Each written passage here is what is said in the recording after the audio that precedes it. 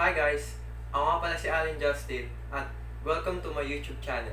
So, this is my first vlog in my YouTube channel and I hope you guys um, like it and support it. So, ito na nga. Ano nga bang magiging main content ng aking YouTube channel? As you can see sa aking background, may kita mong mga figures na nakalagay ay pop. So, ang tawag sa kanila ay Funko Pop. So, bago tayo magsimula, bibigyan ko muna kayo ng mga onting trivias and facts about Funko Pops at kung paano sila nagsimula. So, ano nga bang meron sa isang Funko Pop? Ang Funko Pop ay gawa sa plastic na tinatawag na vinyl na ginagamit karaniwan sa mga water pipes, sa mga housing constructions, and obviously, sa Funko Pops. So, ang mga Funko Pops rin ay meron different kinds and sizes ranging from vinyl, bobblehead figures, 4-inch, 6-inch, 10-inch, 12-inch, and 2 packs to 7 packs. Meron din silang minis, keychains, plushies, at iba pa. Pati merchandises meron din. So, after nyo malaman kung ano ang Funko Pops at kung saan to gawa, ngayon naman ay bibigyan ko kayo ng trivias and facts about saan, saan ang galing ang Funko Pop at kung paano ito sumikat. Number 1. Funko Pops are made by the company Funko which was founded in 1998 by toy collector Mike Beckett in his home in Snohomish, Washington. Number 2. The Funko Company was inspired by the mascot in US which was named Big Boy and that's how Funko started. Number 3.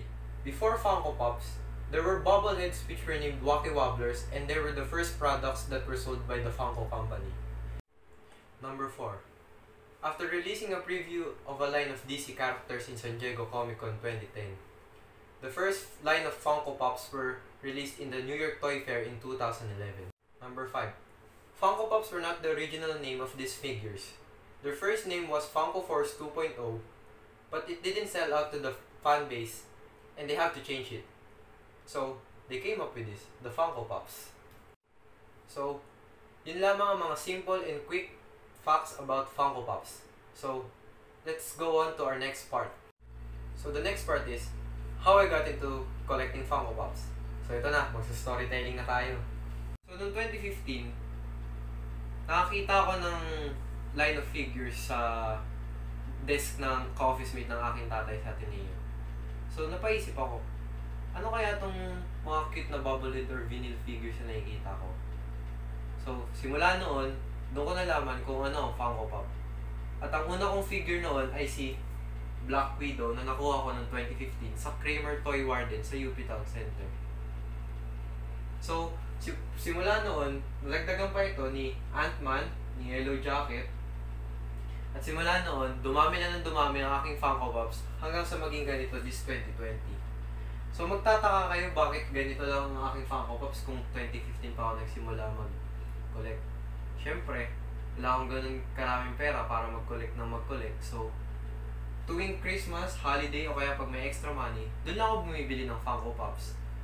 Pero, kahit na ganito lang kaon karami ang aking Funko Pops, hindi ako tumitigil na mag-achieve, na i-achieve ang aking dream na mag-collect ng maraming Funko Pops tulad ng aking idol na si Top Pops na meron ng 1,400 Funko Pops ngayon. So ano nga ba nagustuhan ko sa pagko-collect ng Funko Pops? Hmm. Maliban sa kanilang mga oversized heads and large eyes, ay ang mga Funko Pops ay easy to get, easy to collect. Kaso nga lang medyo pricey pero kung may money naman kayo, why not mag-collect, di ba? So, yun. At saka meron silang mga lines sa mga favorite characters ko from movies, animation, lalo na sa favorite TV series ko ngayon sa Netflix na La Casa de Papel, makikita nyo naman. Meron ako El, Prof, the El Professor, The Professor, Berlin, Denver, Tokyo. At sana madagdagan pa yan. So sa pagkukulik ko ng Funko Pops ay hindi naman naging madali nung una dahil nung una ayaw ng aking mga magulang na magkulik ako nito dahil una nga ang mamahal tas pangalawa tingin nila parang wala namang sense kung magkulik ako nito pero kahit na ganun ay sa dulo sinuportahan pa rin nila ako at sana mas dumami pa ang aking mga Funko Pops. Kung di nyo na itatanong, ang aking mga Funko Pops ay nabibili ko sa Green Hills, sa UP Town.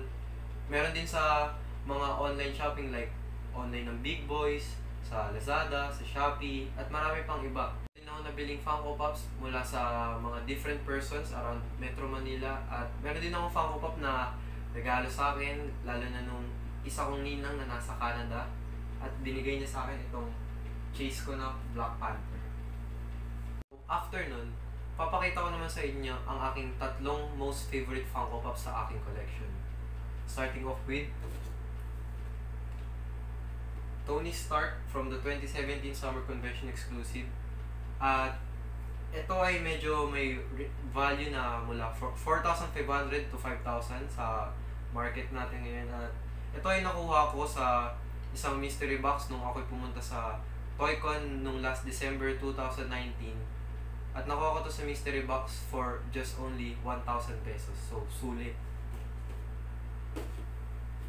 So, second pop ko is Black Panther Chase. So, ito ay nakuha ko mula sa aking ninang na galing sa Canada.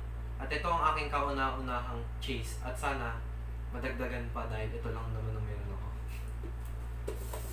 At ang last one is the LeBron James Special Edition Funko Pop dahil kung hindi nyo na itatanong, favorite favorite at idol kong player si LeBron James. Simula pa nung pagkabata ko, kaya favorite na favorite ko talaga tong Funko Pop na to at ito special edition pa. So, ayun po muna ang content natin for today and sana po ay nagustuhan nyo po ang aking content at subaybayan nyo po po ang aking mga videos.